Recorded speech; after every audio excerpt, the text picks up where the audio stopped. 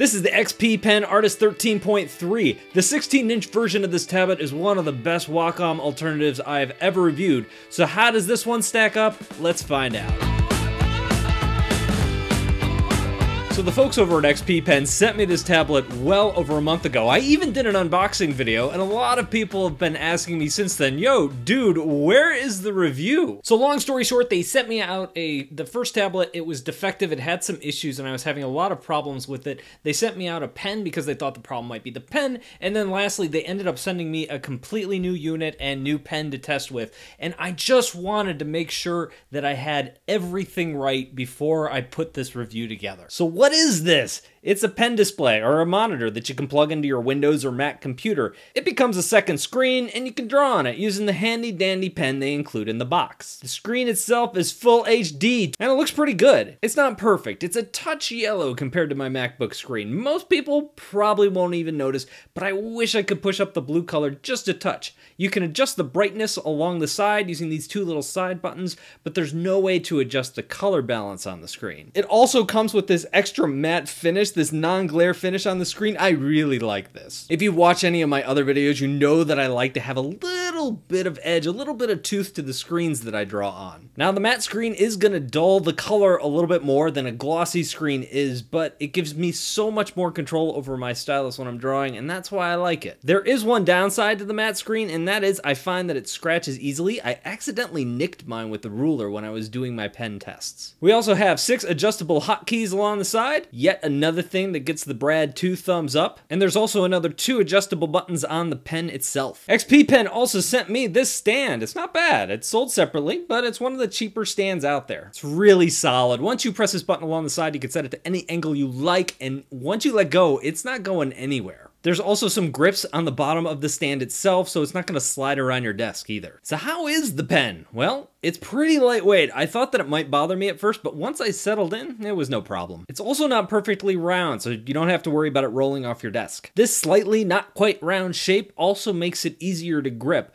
one thing that happens a lot when I'm using any kind of stylus is that the pen will rotate in my hand just a little bit as I'm using it. And when that happens, I'm always accidentally applying pressure the wrong way to one of the buttons and I'm accidentally clicking buttons along the side. And one of the things I really got to like about this pen is that it prevented me from accidentally hitting those buttons all the time. This is one of those features that I didn't know I wanted in a stylus until I had it, and now I'm like, dude, I need that in all my styluses. So what's it like to draw with the pen itself? Overall, the pressure felt really good. Mix that with the textured screen, it left me with a great first impression as soon as I started drawing. The pressure holds well around curves, it seems to just be very consistent when I'm cross-hatching and doing any kind of line work. Also, this pen might have the best initial activation force of any Wacom alternative that I've used. I've gotten so used to warning everybody and light sketchers from these kind of tablets, so it's really nice for once to be like, hey, if you're a light sketcher, you're gonna be okay. Now, at first when I started drawing, I thought that there was some pen wobble, and I kept trying to test it and test it over again, but the more I tested it, the better it did. Overall, when I was drawing slow angled lines with this pen, it worked really well, whether I was using a ruler or not using a ruler. But when I would go back to actually drawing, occasionally I would notice some wobble in the pen. It's really kind of hard to diagnose and exactly figure out where that's coming from. And I'm totally willing to admit that it's coming from me and that I just have sloppy hands. Totally totally possible I don't do the cleanest line work in the world. And you're probably even going to notice it in the drawing that is going on here underneath this video,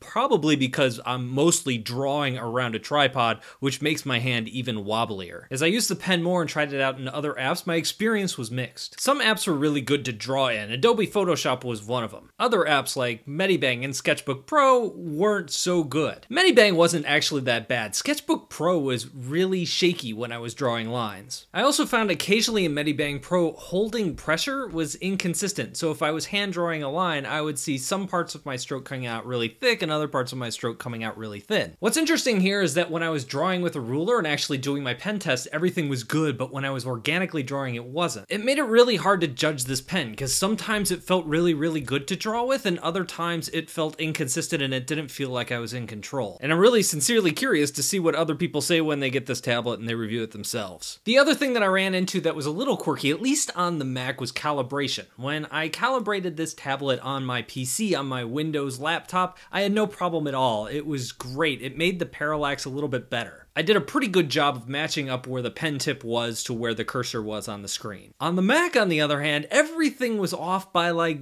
10 pixels. It kind of shifted to the right, and so I went to calibrate the screen, and that almost made it worse. Like now it was off by a couple pixels more. So I ended up going back and offshooting those marks that you're supposed to hit to actually make the pen line up. I had to calibrate this six or seven times before I got it to the point where I liked it. It's entirely possible that many of the things that I encountered here were issues that can be solved just with a driver update. And overall, I feel that if you're going to pick up something that XP Pen makes, definitely check out the 16 over the 13 because it didn't have any of these consistency problems. If you do really want a 13-inch tablet, there's also the Artisul 13 out there and the Parblo Coast 13. Neither of them seem to have the same amount of issues. I kind of feel like I'm picking on this tablet, and it's not that it was horrendously bad, I just think there's more consistent stuff there. If you have any comments or questions, let me know in the comment section down below. And also, we're reaching the end of the year, so I just wanted to say lastly, thank you guys. It's been a pretty amazing year this year. I've really grown. I'm almost at like 50,000 subscribers. Also, uh, this channel, I've been doing more and more videos, and part of the reason why is because you guys support me. Some of you support me through Patreon, paying me a little bit of money every month so I can do what I do. Other people have bought some of my tutorials. I have links to a couple of those down below. I really appreciate that. That helps me create more content. And lastly, people check out my website. Click on my Amazon links. I get a little from that. And it's amazing how all of those little things add up and really help support this channel and how I can spend more and more time making videos and less and less time doing client work. And I think next year is going to be even better. So I want to thank each and every one of you who likes a video, subscribes, and does all that stuff. Have a great week, everybody. Thanks.